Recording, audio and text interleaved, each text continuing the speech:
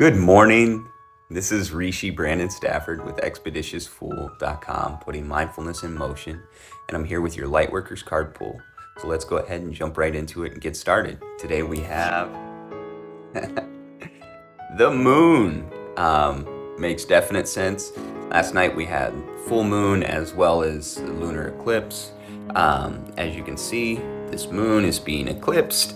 So definitely makes sense that this comes up today.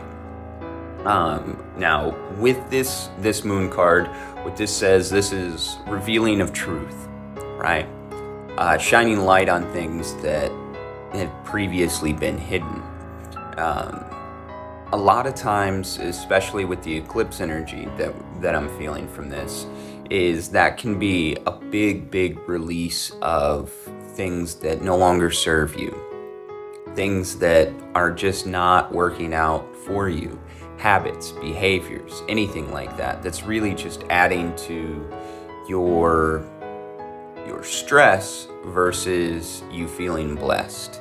That's the best way to put it I can think of. Um, we adopt a lot of things that sometimes they feel very comfortable and we'll go through and it makes sense to us on some level to, to do certain things, but after a while you realize that we were just searching temporary pleasures. And that truthfully, if we forego those, then we can have a consistent joy instead of a temporary happiness. We can have something that doesn't go away, something that stays with us. Um, that's that new level of, of being, right?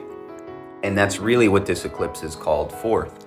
Now, a lot of folks um, may still decide to be the, the way they were before, and that's completely fine. You can decide that. It's just a matter of what you'll get from those results, right? And that's really what we have to focus on is what results do we want and what steps are we actually taking, not just telling ourselves we're taking, actually taking in order to get there. All right, everybody, that's what I have for you today with the moon card. Big, big energy. Um, I hope everybody's handling it well. Uh, as well as you're in Mercury retrograde, which can affect people a lot if, if you're not in that balance zone already. So, if you want to schedule a session with me, tarot, breathwork, meditation, or yoga, or if you're local, a prana healing or Reiki session, send me a message. I'll get you scheduled as soon as possible.